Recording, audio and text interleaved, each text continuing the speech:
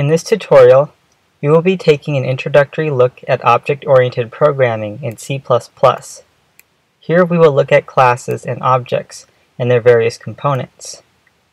We will look at the basic types of class operations such as constructors, destructors, setters, and getters. Finally, we will look at the keywords private, public, and protected.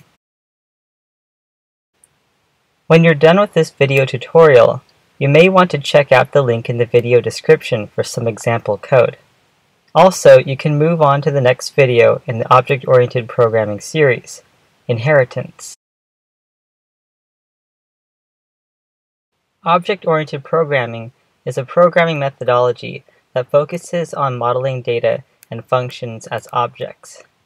By contrast, procedural programming focuses on program execution, statement by statement. In a way, object-oriented programming is more abstract, while procedural programming is closer to the raw machine instructions.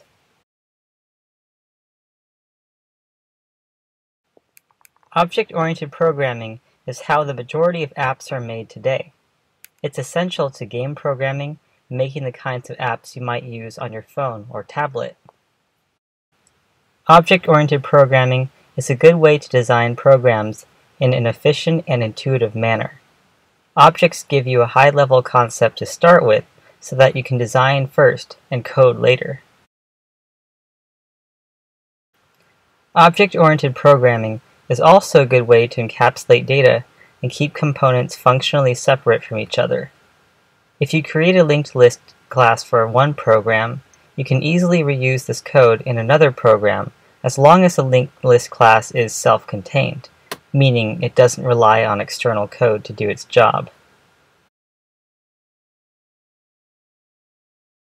In general, we can think of an object as something with a unique identity. This is true in the real world as well as in the software world.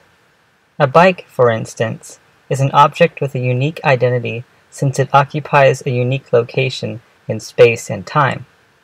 Also, it possesses its own set of attributes and behaviors. Attributes may include the brand name, color, and price. Behaviors may include pedal, brake, and change gears. In object-oriented programming, a class is a template for creating objects. The template is a particular set of attributes and behaviors. Objects implement these attributes as data, and behaviors as functions. A class is a data type, and an object is a variable of that class. In general, objects have two basic methods, the constructor and the destructor. The constructor is what instantiates the object and allocates dynamic memory as needed. A constructor that takes in parameters is called a normal constructor, while a constructor that does not is called a default constructor. The destructor is used to deallocate any dynamic memory used by the object. The destructor is called at the end of the object's lifespan or when the program terminates. Besides constructors and destructors, objects have two other kinds of methods, setters and getters. A setter is a method that changes the data attributes of an object. For example, setPrice will take a floating point number as a parameter and set the price variable to the value passed in. A getter method retrieves the data of an object. A getter doesn't change an object, but rather lets you peek inside of it. For example, we can give the bike class a method called getPrice that returns the value inside the price variable. In C++, there are certain key words for controlling the access level of the data members and methods of a class. Private means that the class members are only visible to the class itself.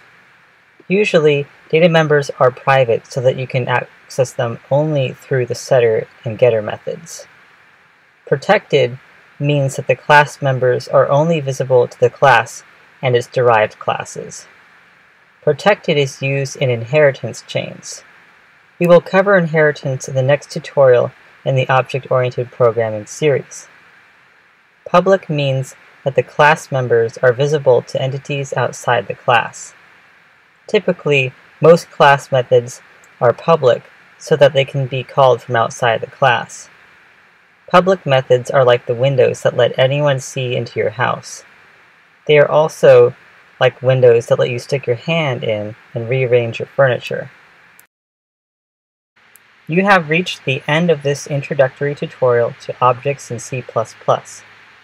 In the video description, you can copy and paste the code for a complete working example. If you're ready to move on to the next video in the Object-Oriented Programming series, go to the C++ tutorial on inheritance. Thanks for watching.